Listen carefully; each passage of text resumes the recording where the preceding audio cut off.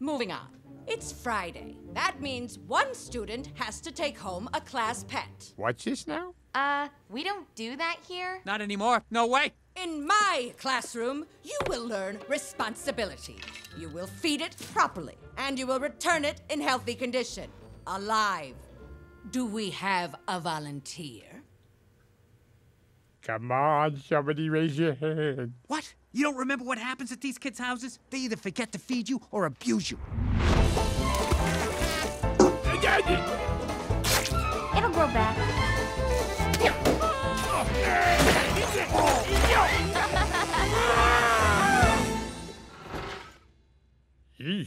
Hey, it looked cool in the 90s. I'm waiting. Volunteer, please. Don't you get it? This is my shot. So I go with one of these kids, case the house for open windows. Then when I'm alone, zip, I escape. Ha! You couldn't zip when you were 20. I'm zipping.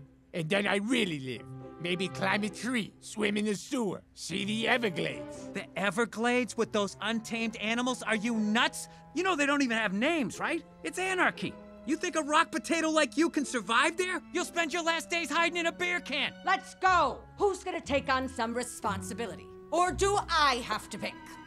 Well, if no one else will, I don't want the pets to feel not wanted, because everybody wants to fit in and shouldn't be judged on their looks, their species, or size of their foreheads. Also, I'm supposed to go indoor skydiving tomorrow, but I think my father may be home, so if it's okay to leave it with your father. Pick one! Okay, the lizard!